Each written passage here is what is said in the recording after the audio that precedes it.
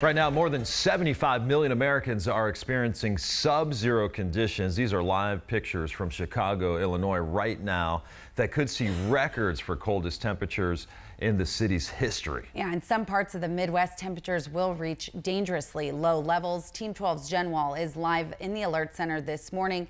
And Jen, I mean, just how cold are we talking with these temperatures?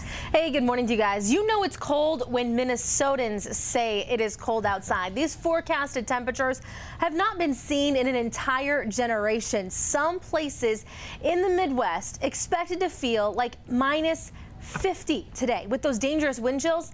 That's about 120 degrees colder than it will feel here in Phoenix today to put that in perspective for you. So let's give you a live look outside right now. This is Minneapolis where Minnesotans say they are experiencing the coldest temperatures in more than 20 years. Now that's if they're brave enough to go outside right now. So just how cold is it? Well, let's switch this live look. This is a thermometer outside of our sister station, KARE 11, and they put it right in the middle of those frigid conditions. Temperatures this morning, you can see with that, oh my goodness, averaging between 25 to 30 below, even colder in spots, and that's in the metro area.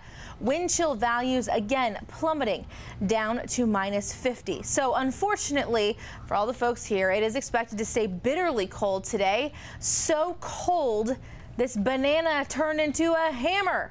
I gotta say, I've never seen this trick. I love these social media tricks. It's like when we go outside and fry an egg in the summer. Yeah, they're doing the complete opposite. So wind speeds expected to drop after this morning, and that's where they'll blow about 10 to 20 miles per hour this morning. This polar vortex system plummeting from the north is being called one of the coldest Arctic air masses to blast through the U.S.